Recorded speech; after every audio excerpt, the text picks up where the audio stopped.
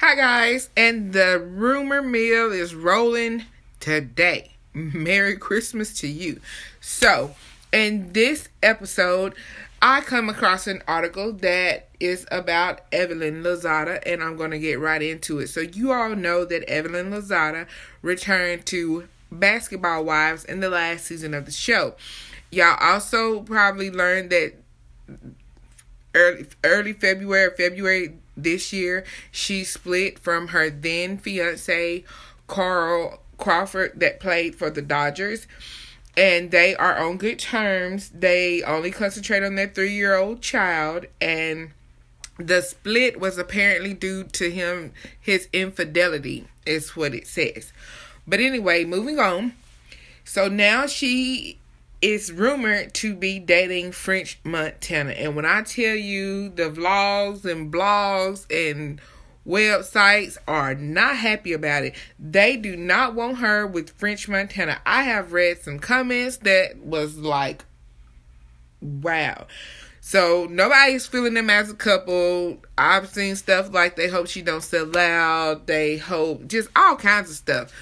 So we'll see how this relationship goes, but let's go on and get into the tea of this whole situation. So here's an article from TMZ about the situation, and it goes on to tell you all how French Montana um, had this little fancy meal for her, and it was for two with his little brand name French vanilla little drink or whatever so um it says how they met which evelyn and the rapper met through mutual friends and have been hanging out for weeks. I guess. But now let me get on to this tea the tea for me is that Lotasha Duffey y'all know Duffey from the basketball wives her castmate Duffey apparently she used to talk to French Montana or like him, something went on or whatever. So this is what I'm wondering.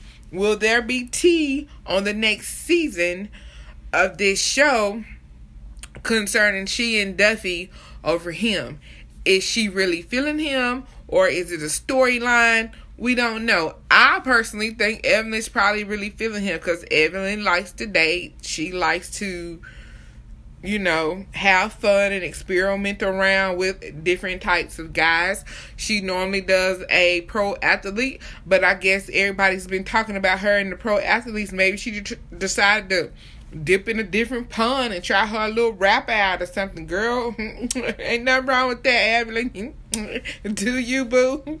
And so I don't see what the big upset is and all the all the you know, comments and tweets or whatever about her dating him. I, I personally think she's just having a little fun. I do not see him as being um somebody she would be with for the long haul. I don't see that at all. I see somebody as to pass the time to the next great man comes by that hopefully that will be more husband material. That's just my opinion. But honey, I can see Tami right now. This bitch. No, this bitch didn't.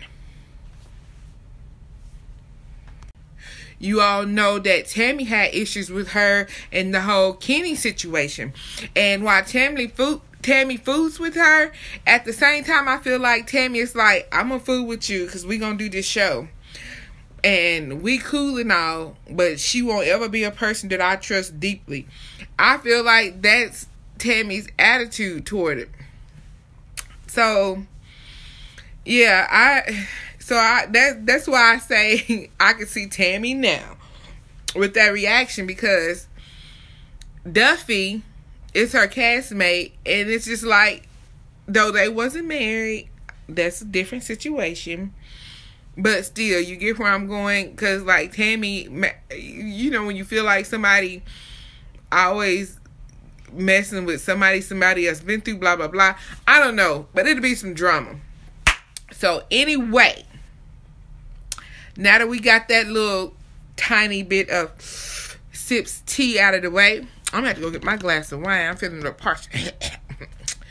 Anyway, so we're going to move on to the next one because I have one more review to do after this one before bedtime. It's really early, but you know, Chanel's got a man at home. Girl, yes, I do. So I got to go tend to this man. But anyway, so I'll see y'all in the next sip of tea.